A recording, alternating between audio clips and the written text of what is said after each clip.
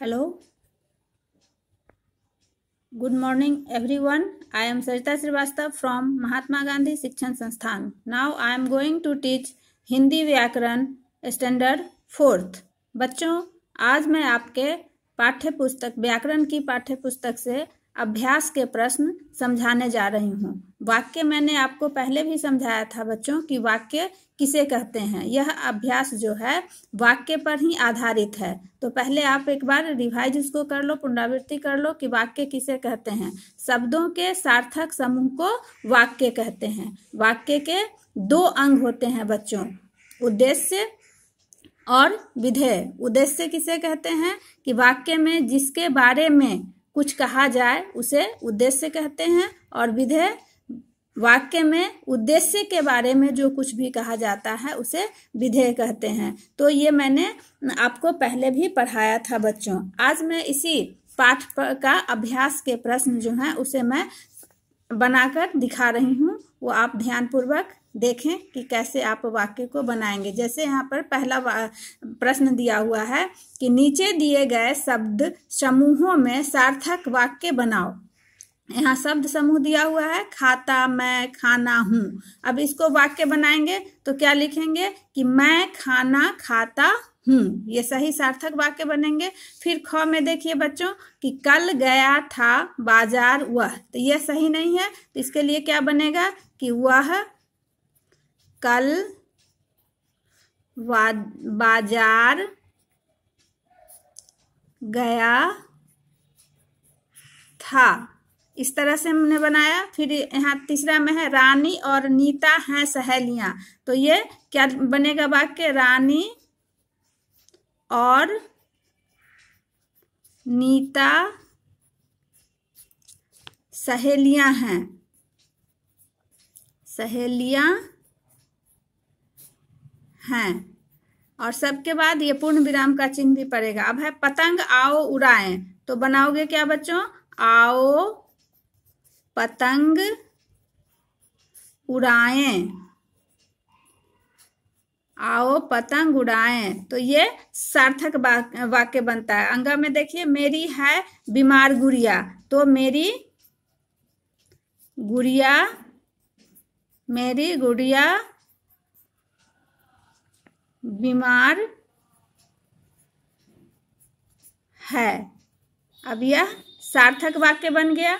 अब दूसरा प्रश्न है आपका बच्चों कि उद्देश्य तथा विधेय अलग अलग करो। अब यहाँ पर ये कॉलम दिया हुआ है उद्देश्य और विधेय का अलग और यहाँ पर यह वाक्य दिया हुआ है। कि गंगा एक पवित्र नदी है, इसमें से कौन सा उद्देश्य है और कौन सा विधेय है? तो उद्देश्य मैंने समझाया है कि वाक्य में जिसके बारे में कुछ कहा जाता है, वह उद्देश्य कहलाता है। तो यहाँ देखिए, गंगा एक पवित्र नदी है। तो गंगा के बारे में कहा जा रहा है तो यहाँ पर यह गंगा जो होगा, ये गंगा उद्देश्य में लिखेंगे, उद्देश्य हो गया और एक पवित्र नदी। तो यहाँ पर विधेय ये हो गया कि उद्देश्य के बारे में कहा जा रहा है कि यह एक पवित्र नदी है। तो ये एक पवित्र नदी है। यह विधेय हो गया। उसी तरह से ख में बच्चों, देखिए कि दीपावली दीपों का त्योहार है। इसमें दीपावली क्या हो जाएगा? उद्देश्य हो जाएगा। दीपावली उद्देश्य हो गया और दीपों का त्योहार। दीपों का त्योहार है। यह विधेय हो गया। फिर गौ में देखिए गौ में है शेर जंगल का राजा है इसमें शेर और जंगल का राजा। जंगल का राजा है। शेर के बारे में कहा गया है। फिर दादी दा, दादा दादी बूढ़े हो गए इसमें दादा और दादी। दादा दादी इसमें उद्देश्य हैं और बूढ़े हो गए विधेय है। बूढ़े हो गए हैं। उसके बाद है अंगा में कि मैं चौथी कक्षा में पढ़ता हूँ। तो मैं शब्द जो आ गया यहाँ पर, यह उद्देश्य हो गया और चौथी कक्षा में पढ़ना जो हो गया, वह इसका विधेय हो गया। मैं पढ़ता हूँ। तो इस तरह से आपने देखा कि उद्देश्य और विधेय को कैसे अलग किया गया। अब बच्चों, यहाँ कुछ तीसरे प्रश्न में है कि नीचे कुछ उद्देश्य दिए गए हैं, उनके आगे से विधेय भरकर वाक्य पूरे करना है आपको।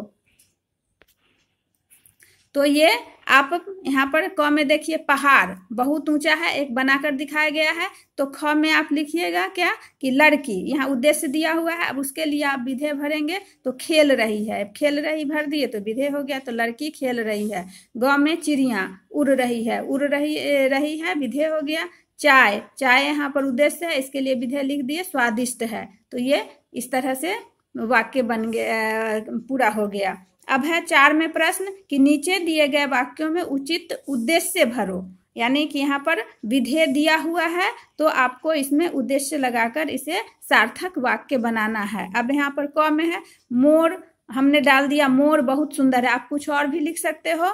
ख में है, कोयल गाना गा रही है। मैंने यहाँ कोयल भरा उद्देश्य के रूप में। फिर ग में गोल होती है तो पृथ्वी गोल होती है, या तुम लिख सकते हो गेंद भी गोल हो सकती है, और घ में है, उसका नाम राजन है। तो इस तरह से हमने यहाँ पर उद्देश्य भर के इस वाक्य को सार्थक बना दिया। अब बच्चों, एक और प्रश्न है यहाँ पर। ये खेल खेल में है, खेल में आपको इसको बनाना है कि बिना मात्रा वाले नाम शब्द लिखना है। यहाँ पर एक फूल तो एक फूल में क्या हो जाएगा? बिना मात्रा का कमल, एक जानवर, मगर, एक ऋतु, शरद, एक पेड़, बरगद, एक शरीर का अंग, कमर, एक मसाला, अदरक, एक वाहन, बस, और एक सब्ज़ी एक सब्ज़ी में परवल। ये सब जो यहाँ पर देख रहे हो आप लिखा हुआ, इसमें कोई मात्रा नहीं है। बिना मात्रा के ये शब्द बने। तो इससे आपको खेल खेल में आप शब्द बनाना सीख जाएँगे। फिर है, दूसरा यहाँ पर है बच्चों, तुकबंदी करके कविता को पूरा करना है। तो यहाँ पर ही आप कविता लिखा हुआ है, छोटे छोटे बच्चे आते, पेड़ों पर चढ़कर उधम मचाते। अब यहाँ पर मैंने उधम, ये मचाते शब्द भर दिए। फिर, कच्ची कच्ची अम्बी खाते। अम्बी छोटा छोटा आम जब होता है, उसी को कहते हैं टिकोला, जिसको कहते हो, हँसते हँसते गाने गाते, माली डंडा लेकर आता, बच्चों पर वो खूब चिल्लाता। बच्चे उसकी एक न सुने, तुम रोको तो तुमको जाने। इस तरह से तुकबंदी करके इस कविता को पूरा कर दिया गया। इसी तरह से आपको जब भी कोई वर्क मिले करने के लिए, काम मिले करने के लिए तो आप ध्यान पूर्वक इसे पढ़कर आप इसे बनाओगे। तो आज अभ्यास का प्रश्न पूरा हो गया। अब अगले वीडियो में हम अगले पाठ को पढ़ेंगे। धन्यवाद।